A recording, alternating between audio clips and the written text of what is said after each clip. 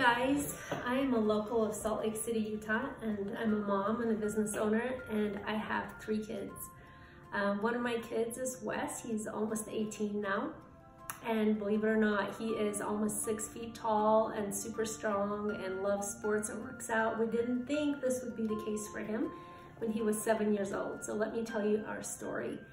Um, Wes was diagnosed with Perthes disease at seven. Perthes disease is very destructive to the femur and particularly the ball of his femur was almost completely destroyed and he, uh, in x-rays it showed that he had a hairline fracture going down uh, the length of the femur. We found this out completely by accident. I was choreographing a Christmas dance at his school and noticed that he would carry his leg kind of funny, like he would limp and then swing his leg around when he would turn. I took him straight to the doctor and uh, they diagnosed him with Perthes disease. Uh, as the doctors told us, it did proceed to get worse and worse and worse. I broke down and I cried because I could not picture my son be on crutches and then eventually in the cast. Coincidentally, during the same time, I continued to take Weston to his pediatrician because he would be so sick all the time, stomach sick. And the doctor would say every time we took him in, he would say, oh, he's fine, you know, kids, they just get sick, they get tummy aches, that's how it works. I took him in several times uh, over a year, like maybe three or four year period.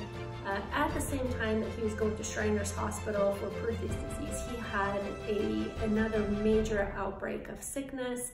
Um, I took him in and it just said I, it couldn't be that he's putting his hands in his mouth. As we were walking out the door, I remembered something and I said, oh, I forgot to tell you that Wes has developed sores inside his mouth. She looked inside his mouth. Oh, they had him tested for um, celiac disease. And sure enough, his uh, blood work came came in and it was through the roof. It was off the charts high.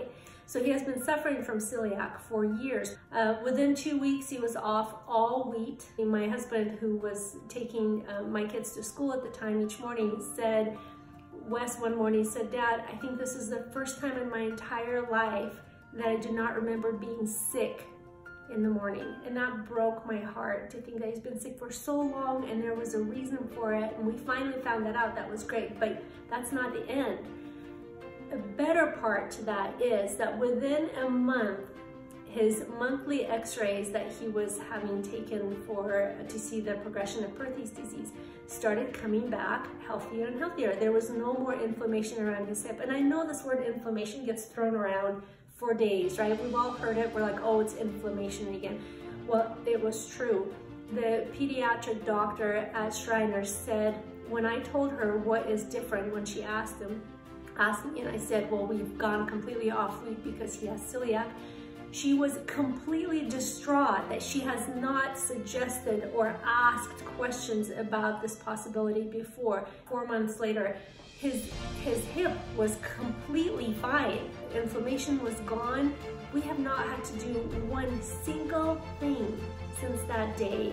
And all that came from simply switching from wheat to a different grade.